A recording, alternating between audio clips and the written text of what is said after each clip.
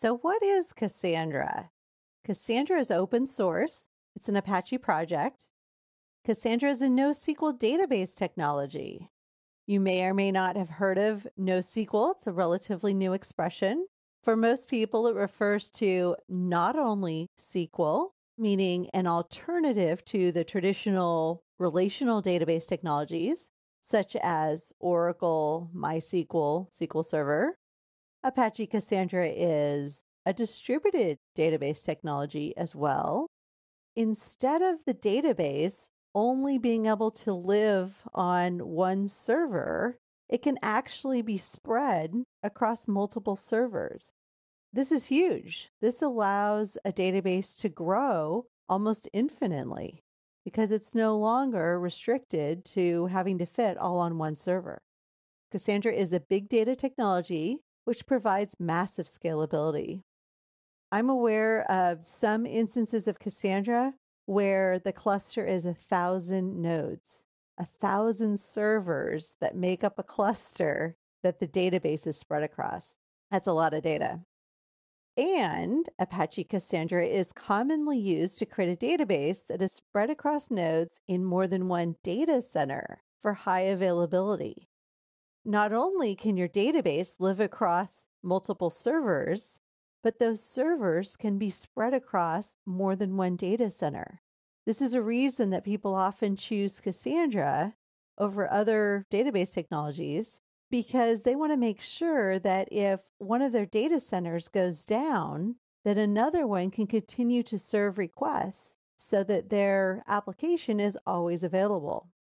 And finally, if some of this seems familiar to you, it could be that you are familiar with Amazon Dynamo, which is a distributed database technology, or Google's Bigtable, which was created for storing huge amounts of data. Cassandra is based on both of these technologies.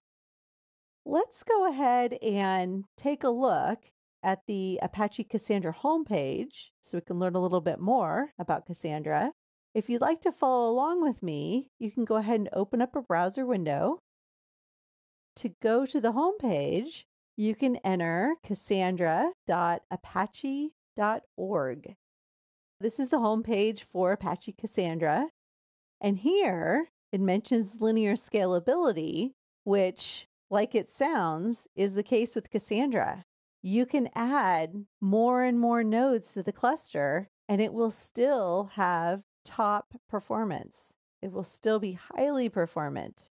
There's not a degradation of performance as you're adding additional nodes. Fault tolerance.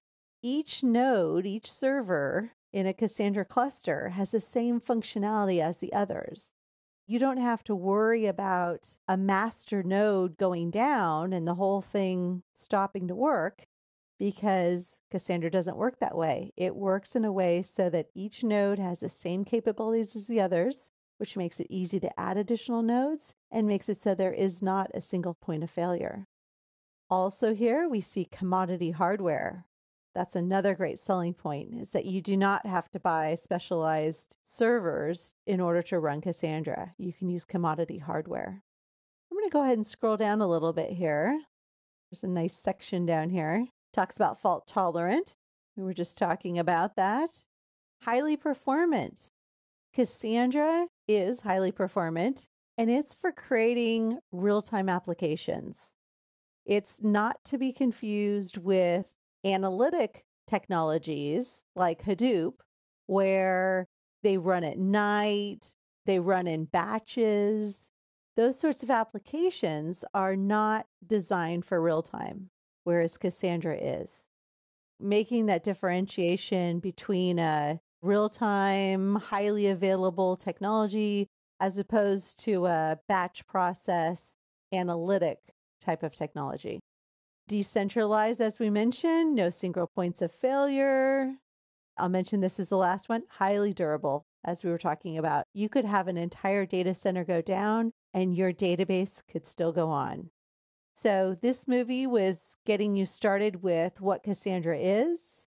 It's a highly scalable, fault tolerant, distributed database technology that provides high availability.